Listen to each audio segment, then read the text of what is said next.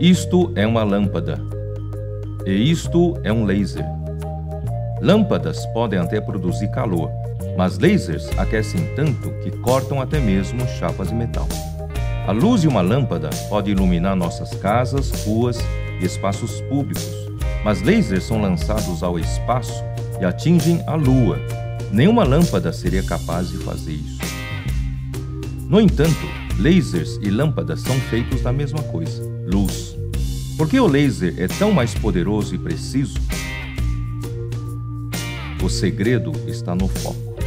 Lasers são feixes de uma única cor de luz. Lasers estão em fase. A luz é feita de partículas chamadas fótons que se comportam como ondas. Na luz e lâmpadas, estas ondas se mostram em diferentes frequências e fases, anulando-se umas às outras. Mas no laser não. Uma onda amplia a força da outra e a soma de todas elas só torna o laser mais potente. Lasers têm feixes colimados, ou seja, cada feixe da luz é paralelo ao seu próximo. Todos focam na mesma direção e ponto. A soma de todos eles produz calor intenso, alcance e precisão.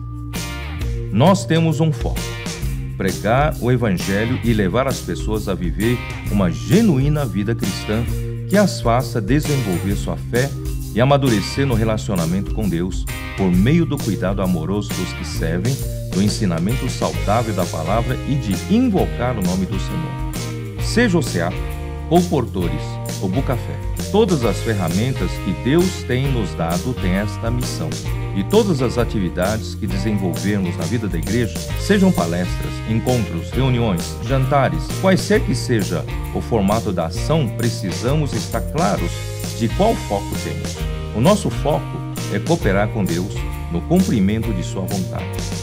Deus tem um foco: ver seus filhos maduros para reinar com Ele.